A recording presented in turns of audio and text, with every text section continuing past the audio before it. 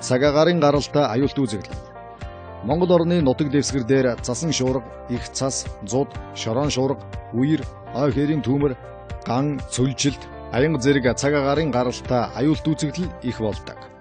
Шорон болон цасан шуурга 1996-аас 1997 онд Монгол орны нутаг дэвсгэрийн 20%-ийг хамарсан зуд болон цасан шуурганы улмаас 600 мянга гаруй толгой мал хорогдсон бөгөөд дэд бүтцэд учруулсан хохирол нийлээд 10 гаруй тэрбум төгрөгийн алдагдлалд оржээ. Цасан шуурга Монгол орны Дорнод, Сүхбаатар, Дорногов, Өмнөгов, Төв, Дундгов, Өвөр хангаа, Баянгор аймгийн нутаг, Арангаа аймгийн зүүн хэсэг, булганы өмнөд хэсгээр илүү олонтоо тохиолдож, олон мал сүрэг хорогдож, хүний амнаас осолддог. Нэг удаагийн хүчтэй цасан шуурганы улмаас дундчаар 200 гаруй сая төгрөгийн хохирол учирдаг бөгөөд хээр гадаа ажилдж байгаа болон мал хариулж яваа 20 орчим хүн осгодог. Шорон шуурга Ялангуяа бүх нутгийн талаас илүү хувьд 40 м/секундээс илүү хурдтай шорон шуурга жилдээ 5-аас 30 өдөр тохиолддог.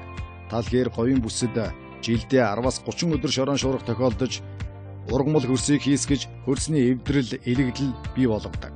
Сүүлийн 30 жилд шорон шуургатай өдрийн тоо 3 дахин өссөн байна.